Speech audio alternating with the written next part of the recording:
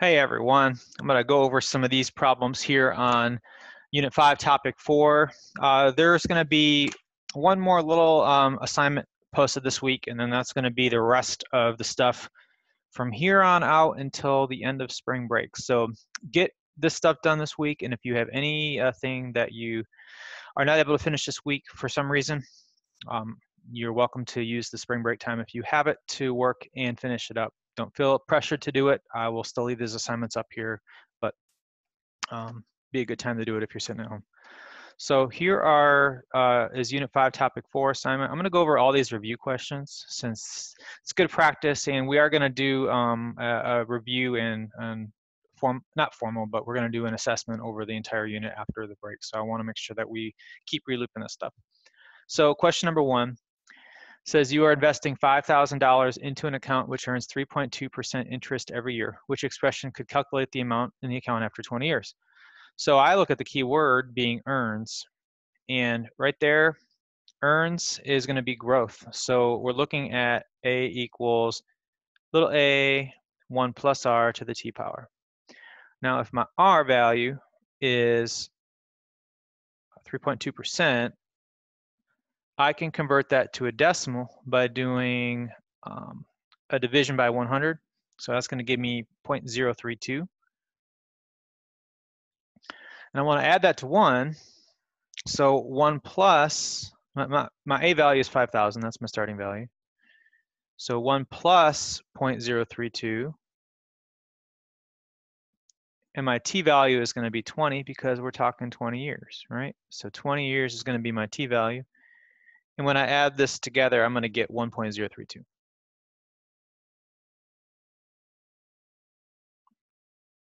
So be careful with your decimals. It's not 1.32. That would be 32%. All right, let's look at number two.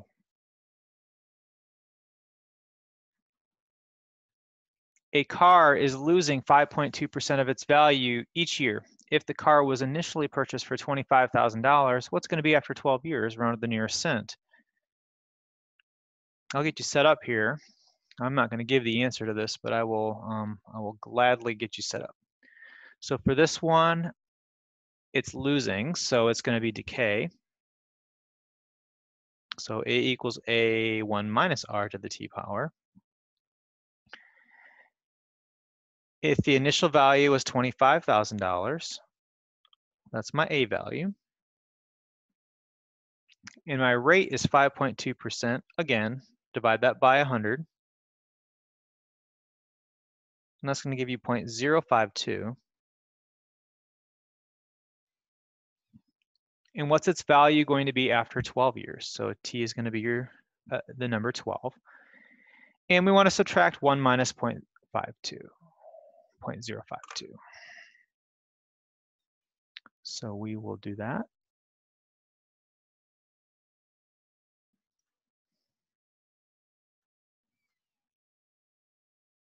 That's going to give us 0.948.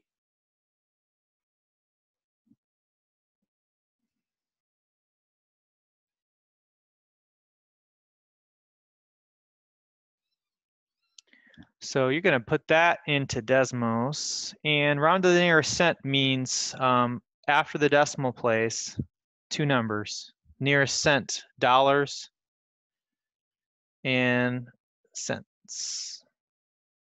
So two numbers after the decimal place. Question three. The piecewise function f of x and an exponential function are shown below. So we have this piecewise function and an exponential function, and we want to know uh, what is f of 10 minus g of 10. Well, f is the piecewise function. Notice that says f of x there. And so we're plugging in 10 into one of these, and then g of 10, that's the exponential function. So let's first figure out where 10 is going to get plugged into. So if I look at these inequalities, 10 if I if I substitute 10 into here, 10 is not less than negative 2. It is not between negative 2 and 5, but it is greater than 5. So I'm going to substitute 10 into the x for 5x cubed minus 7x. So for that,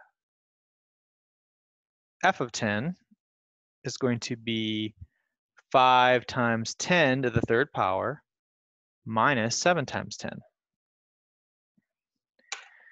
And that I'll just put right into the calculator. So 5 parentheses 10, close parentheses, shift 6, 3 right arrow, minus 7 parentheses 10. And that's a big number, 4930.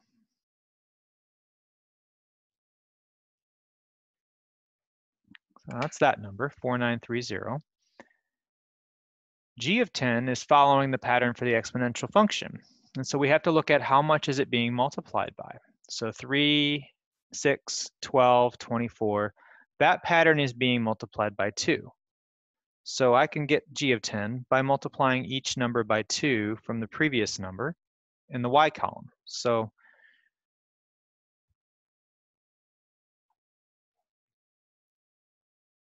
So g of 0 is 3, g of 1 is 6, g of 2 is 12, g of 3 is 24. If I keep multiplying by 2, then I'm eventually going to get to when x is 10.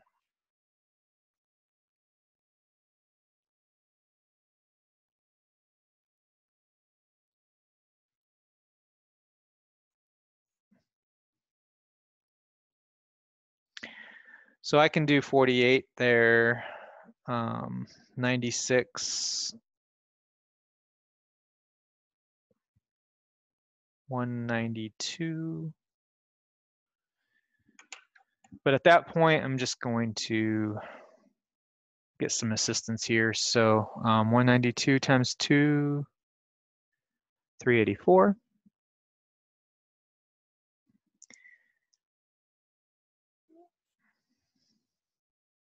By the way, I'm doing the times by doing shift eight.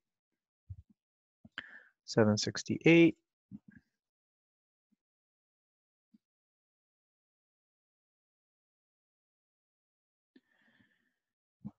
Fifteen thirty-six, and one more.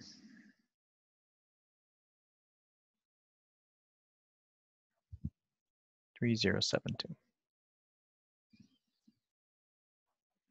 So G of ten is 3072. And now that I went through all that trouble, let me remind you a quicker way to do it. This is your A value, so it's going to be 3. Your base is going to be 2 since you're multiplying by 2, and your exponent will be 10. So that should get us the same thing. 3 parentheses 2 raised to the 10th power, 3072. So the question wants to know what is f of 10, minus g of 10, well, we have those two numbers. All you need to do is subtract them, put it in the calculator, and give me your answer for the question.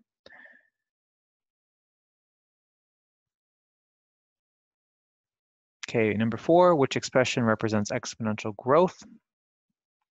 Exponential growth functions are when the base is greater than one and the exponent is a positive x. So 3 divided by 2 is bigger than 1. 1 divided by 3 is not. 3 divided by 2 here is bigger than 1. And 0.98 is not. They all have positive x's except for this negative x. So what happens, if I were to look at that 3 over 2 and say, well, that's going to be growth because 3 divided by 2 is bigger than 1, what that negative x is doing is making that turn into decay. So it's actually not going to be this one. It should be this one. Let me go graph that. You can highlight a, pro, uh, uh, um, a math expression in Canvas on your computer and you can do Control C. And if you go into Desmos, if you press Control V, it'll put latex in a colon. You just highlight that and press backspace, uh, it'll give you the rest of it the way it's supposed to be graphed. You see how that's going up? That's growth. Decay would be if that were a negative x in the exponent. That's decay because that's going down as it goes to the right. So you want to pick that one there.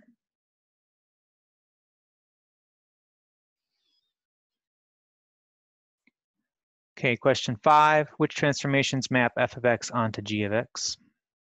Well, we're going to look at the, the patterns here. If I want to know 5 to the x power and I want it to move 5x minus 6 plus 4, remember that when it's x minus 6, it's left to right when it's in the exponent, and it's always the opposite of the direction. So we think minus 6 on the x-axis is being negative, but really that's actually pulling that in the positive direction. That's going to be right.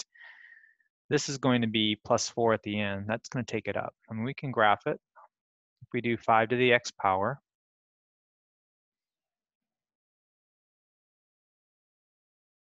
and 5 raised to the, now when you're putting multiple things in the exponent in Desmos, you do need parentheses. So parentheses x minus 6. You see how that brought that 5, that brought that to the right. And then at the end, plus 4, that's going to bring it up. So it's going to go right and up. How much to the right? Just that number there. How much up? That number.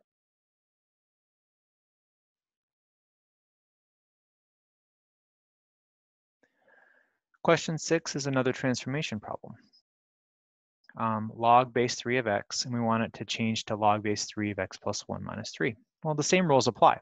If it's dealing with the x, that's left or right, and it's the opposite. So that will not go right one, that'll go left. This minus 3 at the end is going to take it down. And you can graph a log by just typing in log, and you can do shift minus, and I forget what the base was, 3.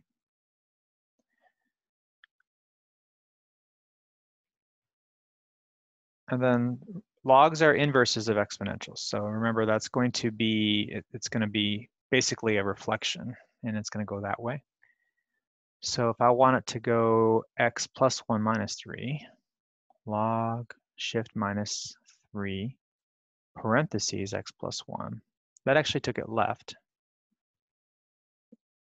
And then minus 3 is going to take it down. So it's going to go left 1 and down 3.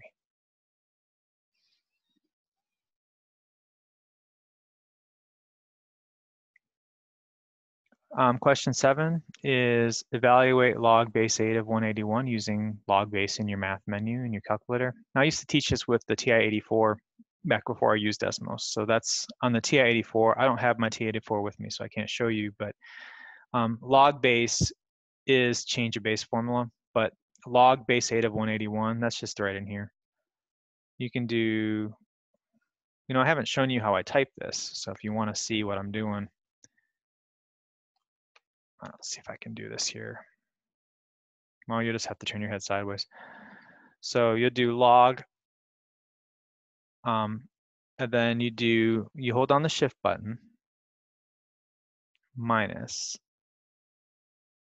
and then that puts in the eight in the um, base. And then you can, once the eight's down there, then you can press the right arrow. So you can see me do that here and then that'll put it you back up to the regular part. And see 181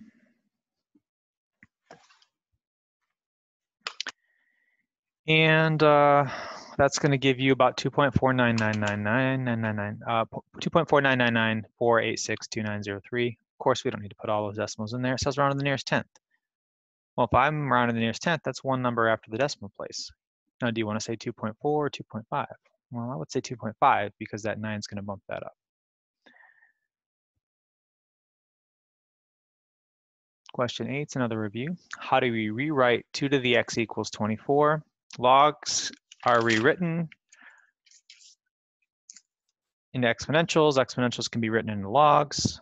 So for question 8, if you want to rewrite 2 to the x power equals 24, we want to write log what is your base? Is it 2, x, or 24? Well, it's going to be 2. That's going to go there. And remember, these two split up. So in there, you would not put x because you want to split them apart.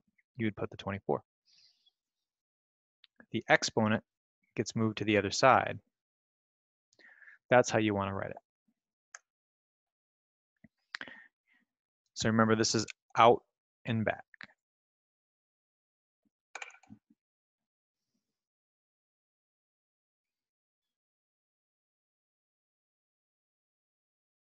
Okay, so questions one through eight we're um, dealing with some older stuff. Let's look at number nine.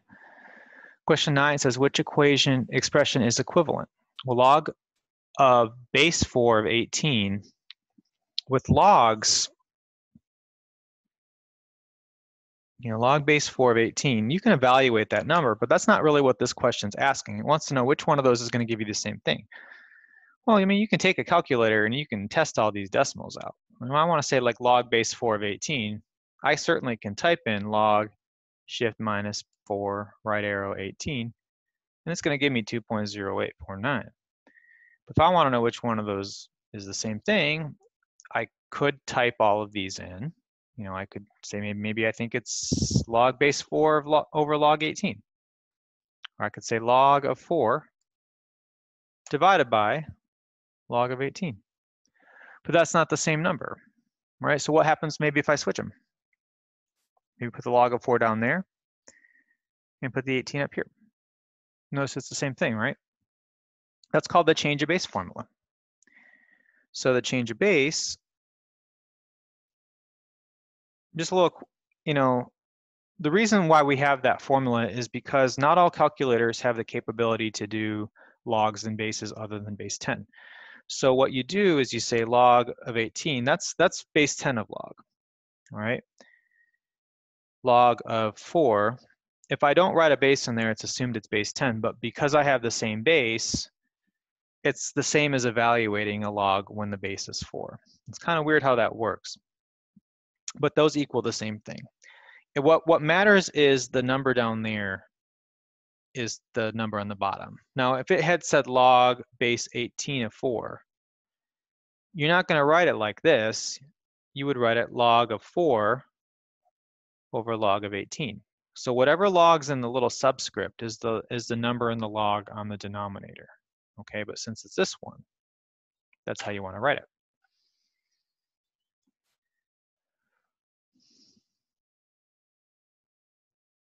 That one's pretty similar, so I'm going to skip that. Same with that one. Same with that one. Let's get into solving. So question 13 says solve the equation for x. 5 to the x power equals 52. Now the way I solve these is I rewrite it as a log. And I basically say log, and I take the base and the exponent, the base of what the exponent is, so log base 5. And in the log, I put the other side of the equation. So I'll put 52, and I set it equal to x. Now, normally I would evaluate it and see what that number is, but this doesn't have that as an option. Log base 5 of 52. That's given right in your answer choice.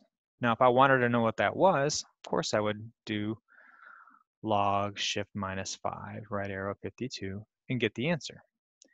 And let me remind you that this can be done. You know, if I do 5 and I raise that to that power, 2 four five five zero four five seven five seven three one. You see how that is essentially 52 right below it. So we what we did was we solved for that exponent over here. Okay, five to that two, five to that power is equal to 50, 52. And um, you know that can be done with logs. Of course, I, I would I have to make sure that you have all the ways that you can solve that. So you know, if you are solving that using maybe a graph, you could say 5 to the x power. And you know, that's an exponential growth function, right? I want to know what is that value, what is that when when it equals 52? So maybe on a new line, you could do y equals 52. Now, 52 is pretty high, so you might have to drag down your graph. But if you look up there where it crosses it, there's your 2.455 right there. So that is going to be the same as saying log shift minus base 5 of 52, 2.455. So I think that's pretty cool.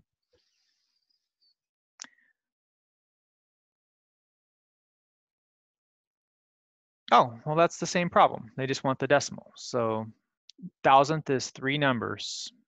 So we just went over that. This one's pretty similar. Um, just remember that the base here is on this side. So 2.5 would be the base of the log, not 68. And this is just one in the decimal form. So you can do 15 and 16. Uh, I can do 17 with you. So let's see, 17, you have 3, 5 to the x power equals 54. Now what you want to do on this problem is you want to divide both sides by 3.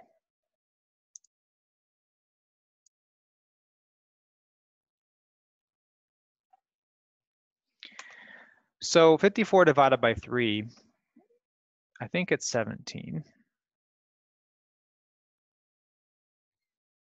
18. Well, I'm glad I checked because my brain was thinking 51. So 5 to the x power is equal to 18. Now that you have that, that coefficient divided out, then you can solve it like we did in the previous problem. So I want to write it as a log. What's the base of that log going to be? Whatever's being raised. So 5. 18 will go in there. And you set it equal to the exponent. So that's what we want to evaluate. Well, we don't have to evaluate it. It's, it's given to us in that form. So you just got to find the one that matches that. No, this is the same problem. They want the decimal. So then you go ahead and plug it into the calculator and you'll get your decimal.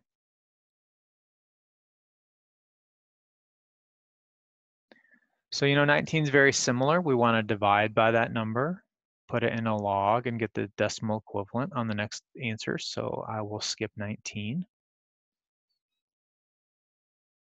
And 20 is the same problem. 21 and 22 are similar too.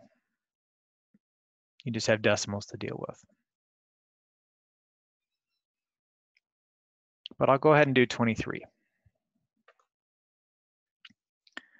So 23, you have 2 parentheses 5 to the 3x minus 1 is equal to 8. So on this problem, now this is the last one I'm going to do here. You want to first divide by that leading number, that leading coefficient, the stretch factor. I feel like Bob Ross. This is going to be 5 to the 3x minus 1 equals 4. Okay, so where we go with this next is this 3x minus 1 is your exponent. We're gonna we're gonna leave that alone. We're gonna write this as a log. The base of that log is the 5. And it's, it's the base because that's what's being raised. So the 5 goes down there inside the log function is going to be the other side of the equation. So that'd be like your a value. So that's going to be 4.